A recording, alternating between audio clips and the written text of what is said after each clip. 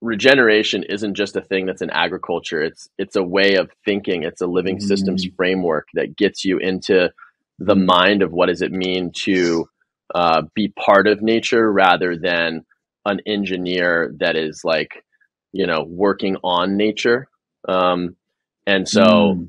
again, this comes back in many ways to that's just the way indigenous people are. It's not the way they think, it's the way that they are. They are they are part mm. of the cycle of life and what it means to do that. And so the idea of being destructive or utilizing certain practices is just not in their worldview.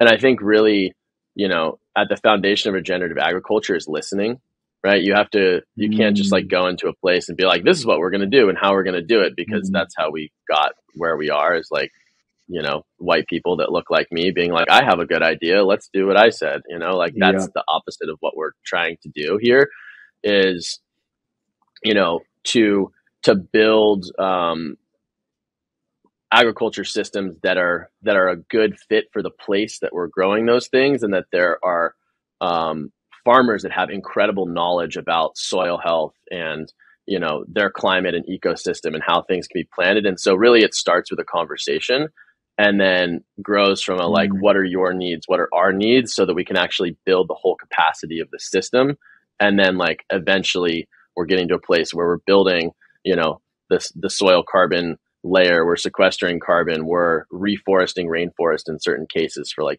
cow systems um, and taking degraded land and really like building it back into a fertile biodiverse environment and that farmers are also mm-hmm. being paid a living wage for what they're producing so that they can send their kids to school and have you know have a solid um, mm. and decent livelihood and have like an engagement with the global capitalist system which is um, at least neutral and hopefully positive rather than um, kind of degenerative mm. and destructive or extractive right and that's that's really at the core mm. of what we do